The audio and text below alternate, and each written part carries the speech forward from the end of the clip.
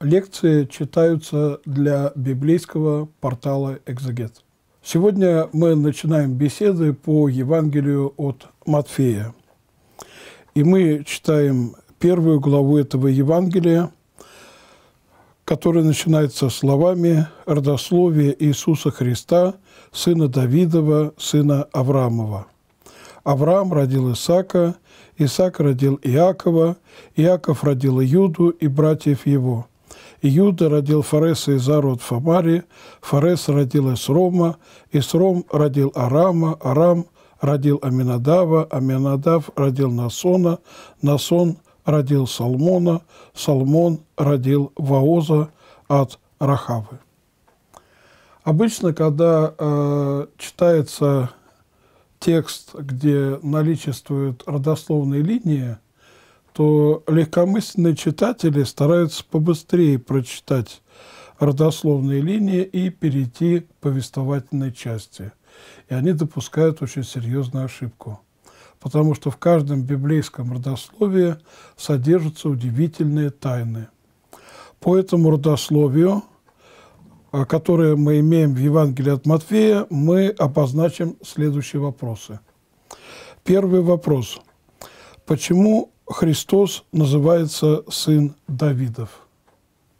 Второй вопрос. Почему Христос называется сын Авраамов? Хотя, казалось бы, если он потомок Давида, а все знают, что Давид происходит от Авраама – как бы излишне было это уточнять. И следующие вопросы по родословию, которые мы имеем, первая глава от Матфея, с первого стиха по 17 стих, это следующие вопросы. Первый.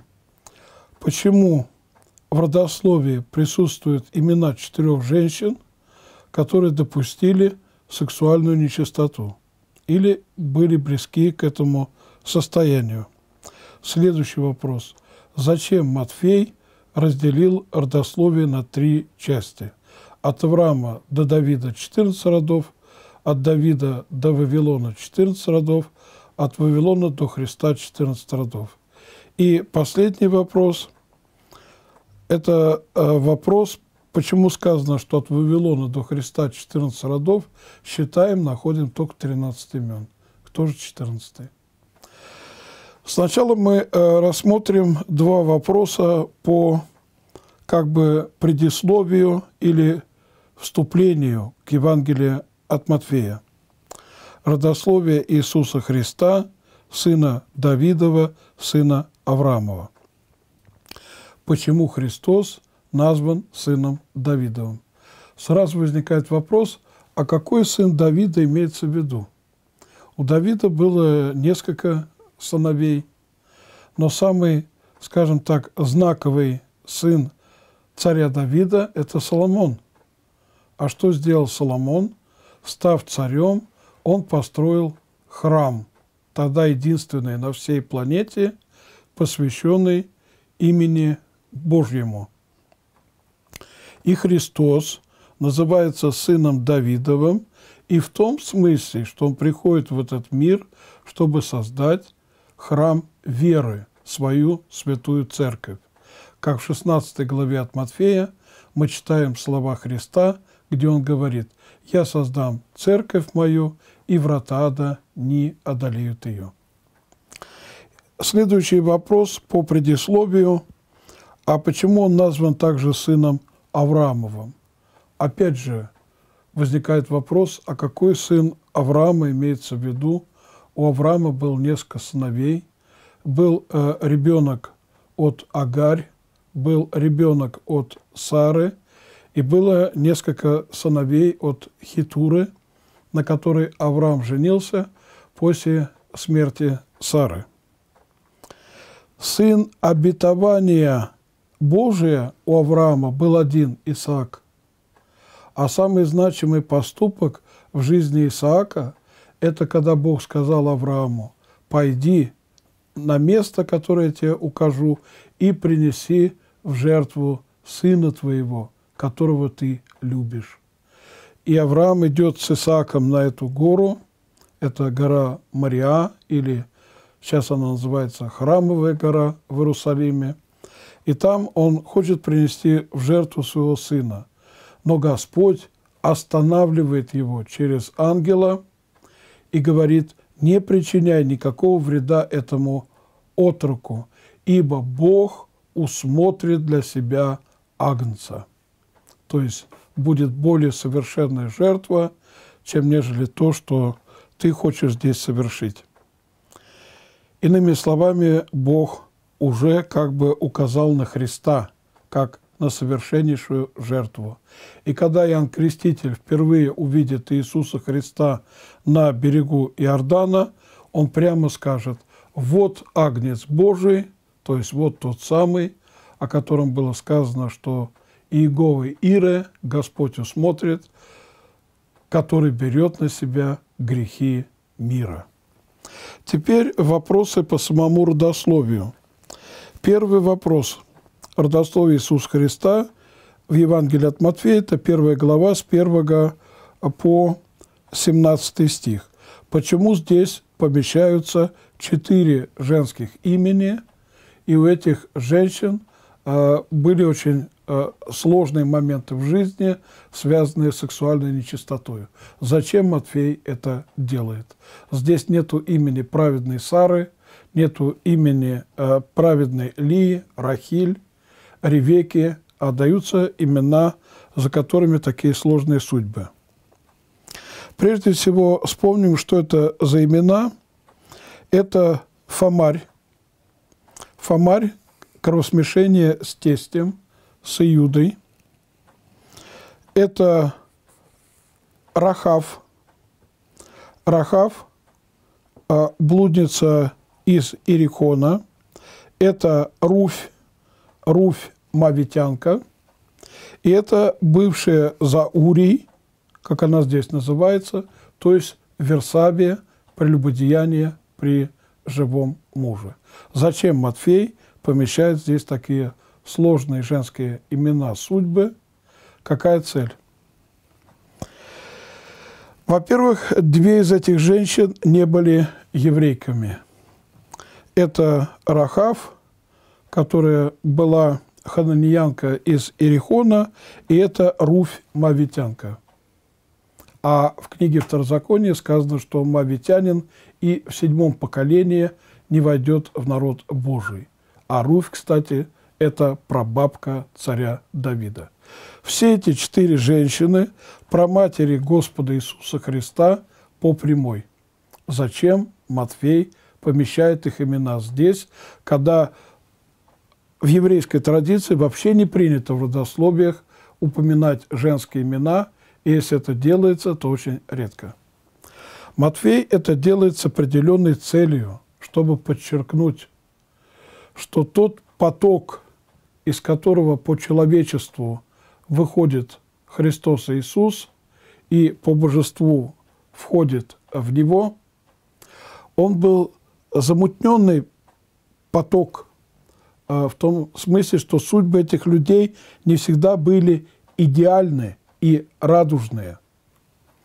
И это имеет огромное значение для нас.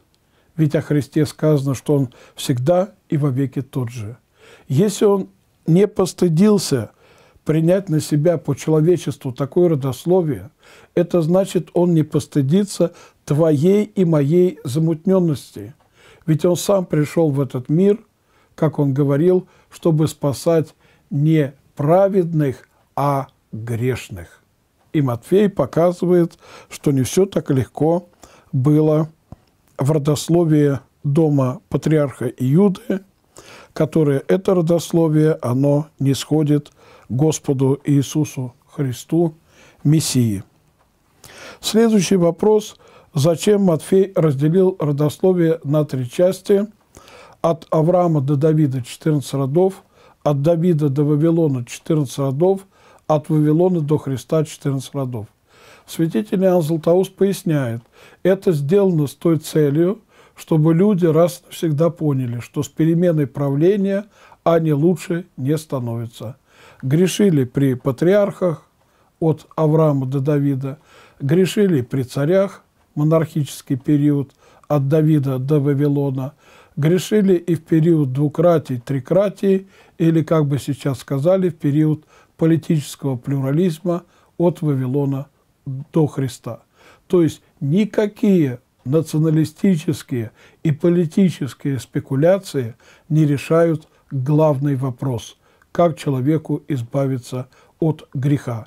И только с пришествием Христа Спасителя в этот мир появилась надежда, что люди смогут избавиться от ответственности за грех и начать ходить, как сказано у апостола Павла, в обновленной жизни.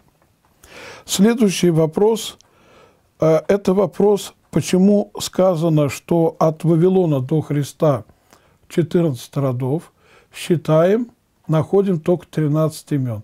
Кто же 14?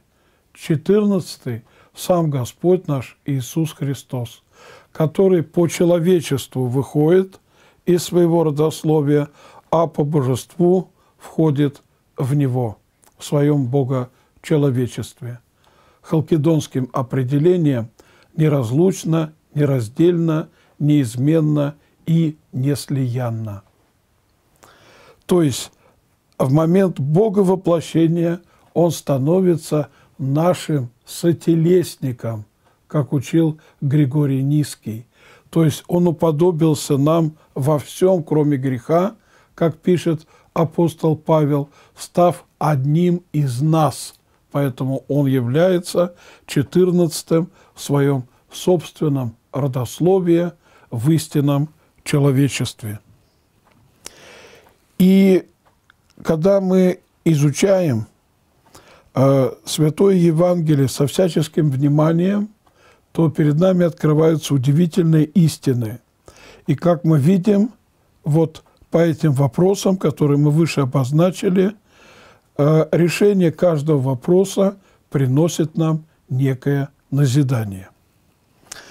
Родословие оканчивается 17 стихом первой главы от Матфея, и далее мы читаем «Рождество Иисуса Христа было так. По обручению матери его Марии с Иосифом, прежде нежели сочетались они, оказалось, что она имеет в чреве от Духа Святаго» сразу возникает вопрос, а почему Христос рождается от девы, которая была обручена мужу?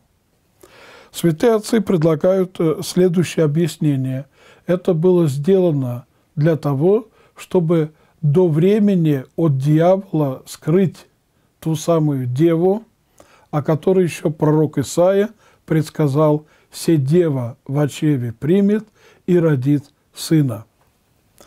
И дева обрученная, она уже не являлась пристальным а, объектом для внимания дьявола, и здесь его внимание ослабело, и он следил за другими девами, потому что из Писания знал, что Христос должен родиться от девы.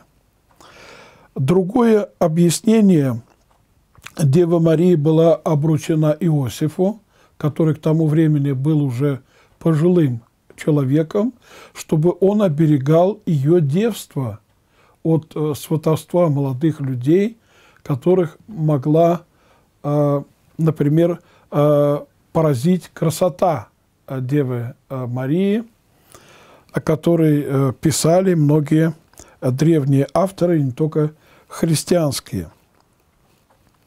Итак, прежде нежели сочетались они, то есть Иосиф и Мария, оказалось, что она имеет в очеве от Духа Святаго. Иосиф же, муж и я, будучи праведен и не желая огласить ее, хотел тайно отпустить ее. Вот здесь непонятно, в каком смысле Иосиф праведный. Будучи праведным, не хотел огласить ее. Если речь идет о праведности ветхозаветной, то в соответствии э, с законом Ветхого Завета, с пониманием праведности Ветхого Завета, Иосиф как раз должен был огласить, что обрученная ему дева беременна. И он должен был привести ее к воротам города, где ее должны были побить камнями. О какой же праведности идет речь, что Иосиф же, муж и я, будучи праведен, не желал огласить то, что она в положении. Речь идет о том, что хотя Христос еще не родился, но сияние новозаветной праведности распространяется и на обручника Иосифа, а праведность Христова учит «любите врагов ваших, благословляйте проклинающих, молитесь за обижающих».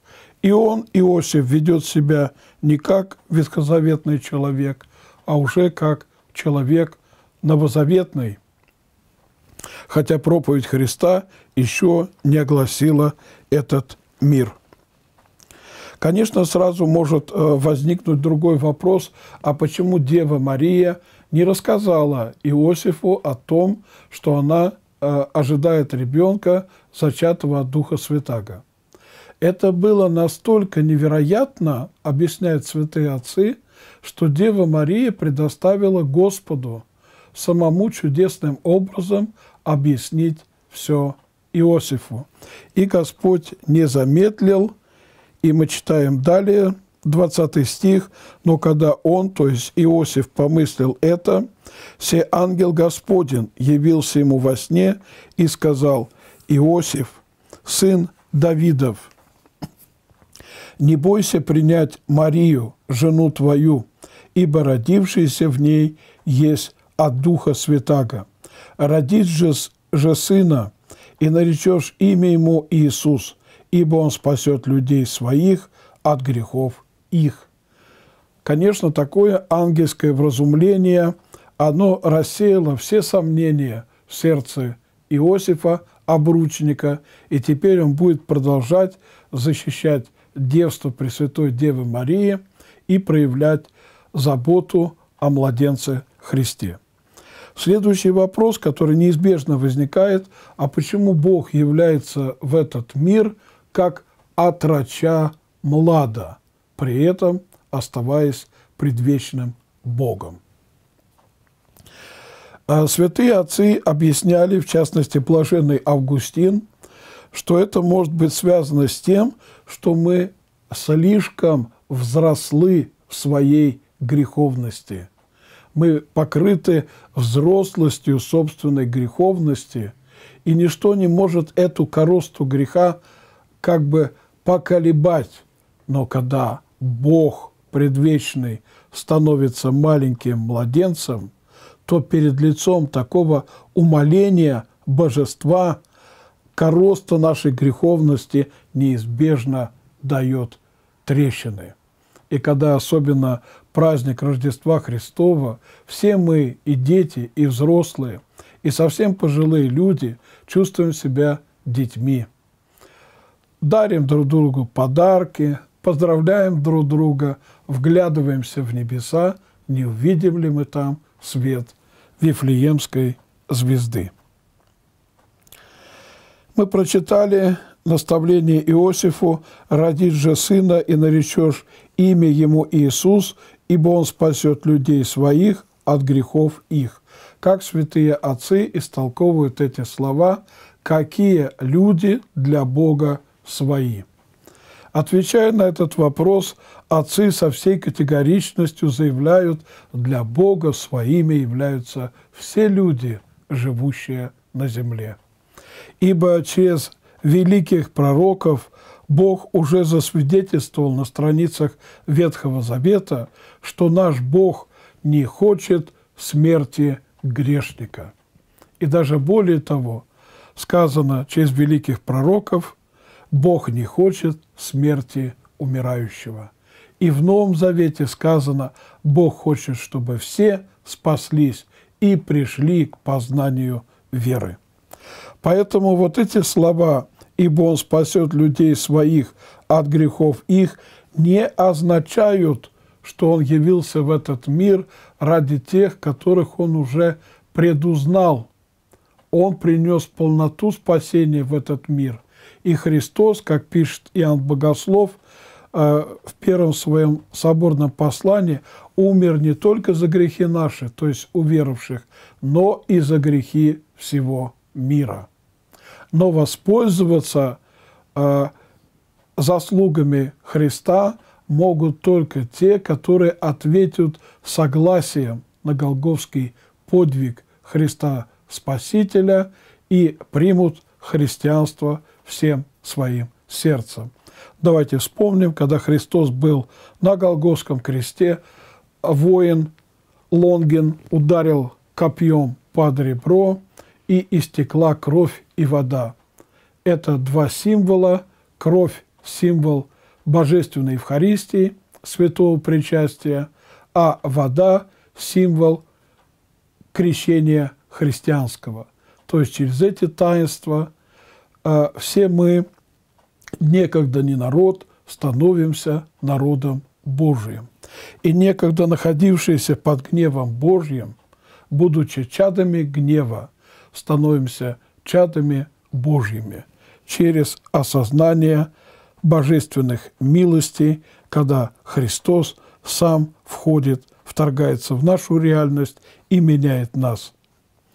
И далее мы читаем у Матфея, «А все сие произошло, да сбудется реченное Господом через пророка, который говорит, то есть пророк Исаия, «Се дева в чреве примет и родит сына, и нарекут имя ему Эммануил, что значит «с нами Бог». Из э, древних христианских преданий известно, что э, среди переводчиков еврейского текста на греческий язык, когда создавалась известная Септуагинта, перевод 70, э, был некий праведный человек по имени Симеон. И это событие имело место быть, осуществление перевода а, в третьем веке до Рождества Христова. И когда Симеон переводил эти слова у пророка Исаии «Се дева в очеве примет», он всколыхнулся в сердце своем. Как это дева? Если примет в очреве и родит, то это не дева. И он хотел вырезать из кожаного пергамента эти слова. Но тут же в его келии появился белоснежный ангел, который сказал ему, «Симеон, ты будешь жить до того момента, пока ты сам не увидишь деву, которая родит». И он прожил много и много столетий и дожил до того времени, как рассказывается в Евангелии от Луки, когда однажды, придя в храм Духом Божьим, ему было сказано «вот та, которая родила», и он взял на руки богомладенца Иисуса, благословил его и его матерь.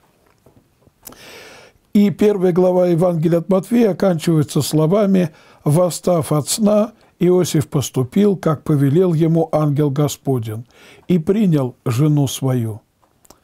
И не знал ее, как, наконец, она родила сына своего первенца, и он нарек ему имя Иисус наречение имени снимало все подозрения.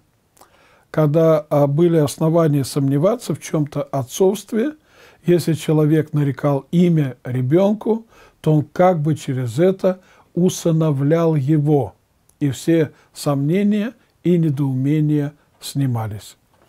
Итак, э, сегодня а, мы с вами, друзья, изучили первую главу Евангелия от Матфея – и если будем живы, Господь позволит, в следующий раз мы продолжим чтение этого удивительного текста, изучая уже вторую главу этого Евангелия.